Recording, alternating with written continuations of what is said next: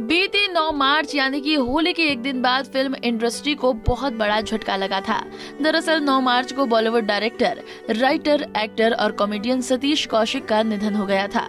उन्होंने रात करीब ढाई बजे अंतिम सांस ली। अभिनेता अनुपम खेर ने सबसे पहले सोशल मीडिया पर पोस्ट के ज़रिए इस दुखद खबर की जानकारी दी थी। 8 मार्च, यानी कि होली के दिन, वो अपने एक दोस्त के निमंत्रण पर दिल्ली होली मनाने आए थे। होली के अगले दिन उनके सीने में अचानक दर्द होना शुरू हुआ और उन्हें जल्दी से जल्दी अस्पताल ले जाया गया, जहाँ डॉक्टरों ने उन्हें मृत घोषित कर दिया। सतीश कौशिक की अचानक हुई मौत से पूरी फ़िल्म इंडस्ट्री में शोक की लहर है। सतीश कौशिक को लेकर शुरुआती जाँच में बताया गया कि उनकी मौत हार्ट अटैक से हुई है। हालाँकि अभी तक उनकी पोस्टमार्टम रिपोर्ट नहीं आई है, उनका पोस्टमार्टम दिल्ली के दीनदयाल अस्पताल में हुआ था। पुलिस भी सतीश कौशिक की पोस्टमार्टम रिपोर्ट का इंतज़ार कर रही है। पोस्टमार्टम रिपोर्ट के इंतज़ार के दौरान ही नया टर्न ले लिया है।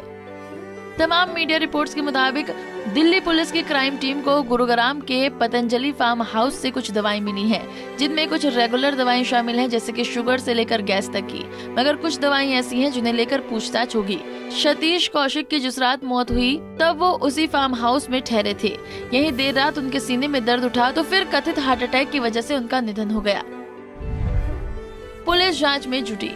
इस मामले में दिल्ली पुलिस ने अब जाँच शुरू कर दी है। पुलिस तहकीकात कर रही है कि उस रात फार्म हाउस पर कौन कौन था। मौत होने से पहले सतीश ने क्या खाया पिया था और कब उन्हें अस्पताल ले जाया गया? एक्टर की मौत का सही कारण पता लगाने के लिए दिल्ली पुलिस ने उन सभी मेहमानों की लिस्ट तैयार की है, जो होली पार्टी के वक्त फार्म हाउस में मौजूद थे। पुलिस उस उद्योगपति से भी पूछताछ करना चाहती है, जो कौशिक की मौत के बाद से ही फरार है। दिग्गज अभिनेता सतीश कौशिक का जन्म 13 अप्रैल 1956 को हुआ था।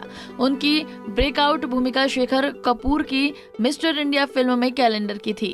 उन्होंने जाने भी दो यारो, मंडी और वो सात दिन जैसी शुरुआती रिलीज़ के साथ भी प्रभाव डाला था।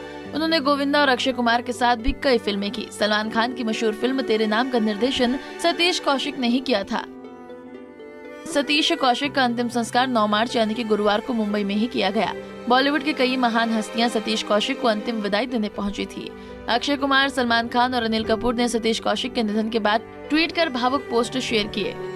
बता दें कि एक्टर के परिवार में उनकी बेटी वंशिका और पत्नी शशि कौशिक हैं। सतीश कौशिक आखिरी बार ओटीटी पर रिलीज़ हुई फ़िल्म छतरी वाली में नज़र आए थे। मौत के बाद एक्टर को फैंस की फ़िल्म इमरजेंसी में देख सकेंगे। कंगना रनौत की इस फ़िल्म में सतीश कौशिक बाबू जगजीवन राम के किरदार में दिखेंगे।